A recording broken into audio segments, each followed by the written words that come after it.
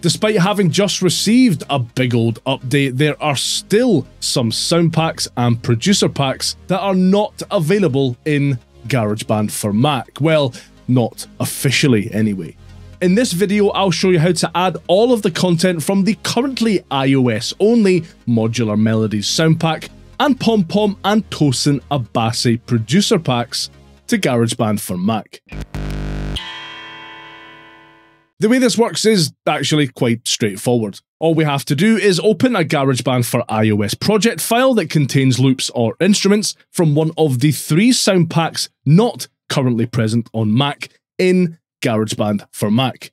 We'll be prompted to download the missing content, and once that's done, we'll have access to all of the content that works in GarageBand for Mac. Everything except live loop grids, essentially. Alright, here in GarageBand for iOS, I have a project I made to demo the sounds that came with the most recent Tosin Abasi producer pack. The easiest way to get this project onto my Mac is to tap and hold on it, select share, and then choose to share the actual project file. Then I can just airdrop it across to my Mac. On my Mac, the project file is here, and if I open it, I get an alert that additional content needs to be downloaded.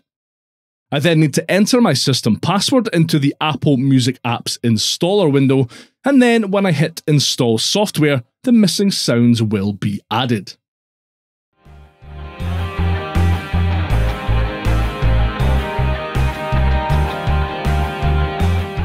Now, this doesn't just add the missing sounds for this particular project though. If I go to the Loops browser and filter the loops by specific sound packs, you can see that the Tosin Abasi pack is right here, along with all of its 170 plus Apple loops.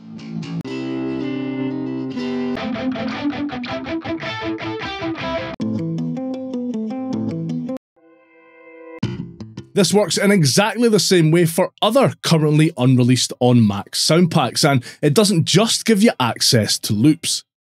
If I follow the same process for the Pom Pom Producer Pack, this time opening a GarageBand for iOS project that only contains a single loop from that pack, downloading the additional content will also make its 13 instrument patches and 4 drum kits available for use too. GarageBand for Mac's library also has the ability to filter by sound pack here. You can see Pom Pom on the list of available sound packs, and I can now use the brilliant instrument and drum sounds in my Mac projects too.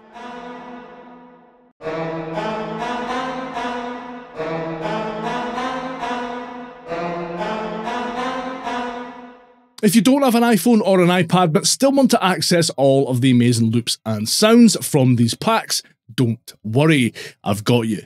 A link to a GarageBand for iOS project file that contains loops from these currently iOS only sound packs down in the description. Just download the project files, open them on your Mac, and follow the steps outlined in this video, and you'll be good to go. Though, note you will need to be running an up to date version of GarageBand for Mac for this to work. Let me know your thoughts on hacking these packs into GarageBand for Mac down in the comments, and give that like button a good hard slap on the way past if you found this video helpful. I really appreciate it and it helps more people see it. And for more information on that big recent GarageBand for Mac update, watch this next.